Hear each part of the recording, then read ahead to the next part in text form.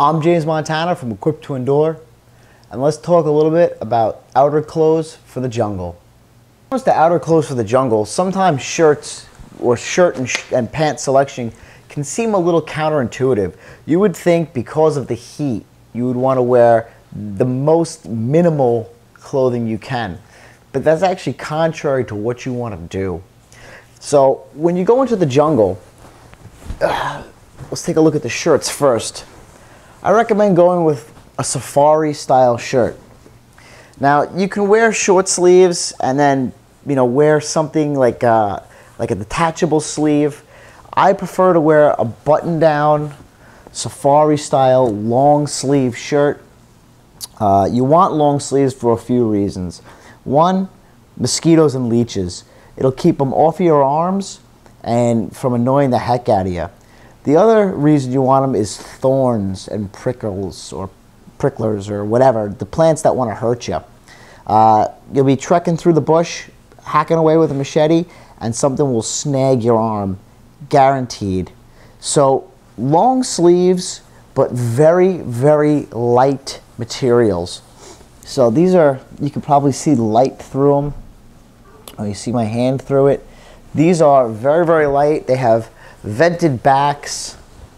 It's got vents and vented armpits and things like that where you can really button up the shirt but the shirt is so light and quick drying that really the fact that it's a long sleeve shirt doesn't affect you. And this is some let me see here deodor. I, I don't even know who makes this. This is probably some Chinese knockoff brand but it's light it's thin it's long sleeve. You can roll the sleeves up for when you're in camp or when the mosquitoes aren't so bad.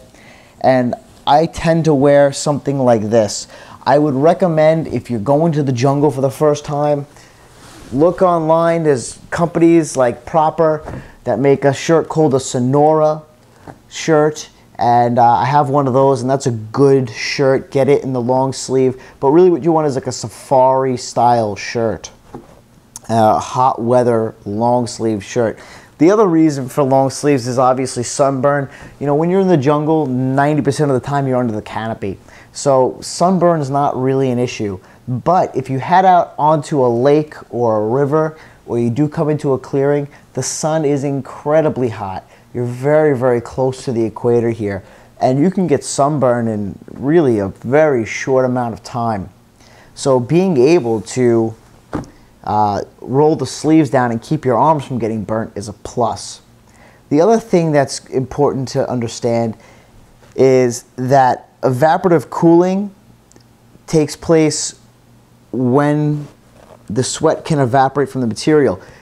When it's so hot and humid in the jungle that you, your arms and your body hair retains the moisture and you, you just can't get rid of it anymore, you're gonna overheat but this material is light and loose and it will tend to let the sweat evaporate more than it would off of your skin, uh, which will cool you down more. So you want to go with a long sleeve light shirt, something like this. Uh, deodor shirt. You guys can see it here. And I'll put these on for you in a minute. The next thing I want to talk about are pants. And these are just uh, ripstop BDUs. They're the lightest material. These are Proppers. These are like the lightest materials. And this is one of the only times that you can go with cotton. Um, the cotton ripstop BDUs, they, they dry really fast. They have good evaporative cooling properties. They're very strong. They're very light. And you can either go with something like uh, a 60-40 nylon cotton uh, or poly cotton ripstop, or you can go with the 100% cotton ripstops, uh, which these ones are. And I go back and forth between the two. I really don't have a preference. It's just kind of whichever ones I can get on sale. Uh, and they both work fine. And that's one of the only times that I would ever say go with cotton in the jungle. When it comes to underwear, socks, shirts, you always want to go with a synthetic Uh, with the pants, you can go with cotton. The one thing to understand about cotton is cotton holds grit and grime more than synthetics do. So you gotta wanna kinda keep them clean. But generally when I'm trekking through the jungle, my pants are getting soaked anyway. Uh, I don't wear a poncho and I'll oftentimes just wade through a stream and get out and keep going because it's so hot you're going to dry off in an hour. So you can go with the 100% cotton BDUs and that's fine. Uh, you could also go with some hot weather pants and that's fine. Uh, as long as they're kind of military style, you, you want ripstop because the same thing. Everything's got thorns. Everything's trying to bite you or sting you or rip at you. And I know in the South American jungles, there's not too much stone. But here in Southeast Asia, especially in Taiwan and a lot of the volcanic islands, so when you're talking about the Philippines, Taiwan, Indonesia, you have a lot of stone and a lot of sharp stone, a volcanic stone.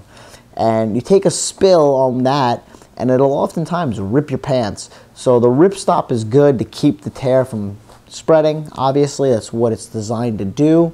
And it's a good idea when you're in at least the Southeast Asian tropics to wear a BDU style pant.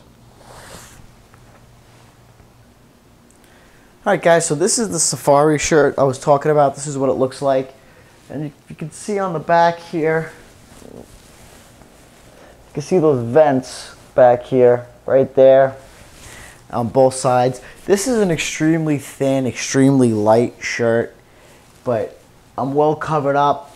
I have the ability to roll the sleeves up. And something like this is what you want.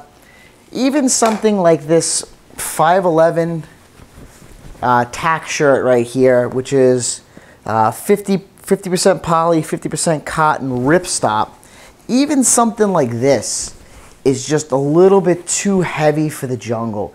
It's just going to be a little hot and a little uncomfortable. What you really want is something very, very thin and light.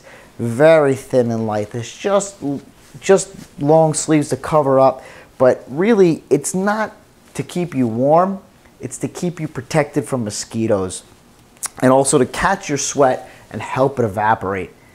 So you want to go with a safari shirt. The Sonora shirt by Propper is another good example where you're talking about something that's extremely light and extremely thin but gives you the advantage of having long sleeves to cover your arms from mosquitoes and leeches and the sun and also catch the sweat and help it evaporate very, very quickly. Alright guys, I'm James Montana from Equipped to Endure and remember, if you're not always prepared, you're never prepared. Thanks for watching.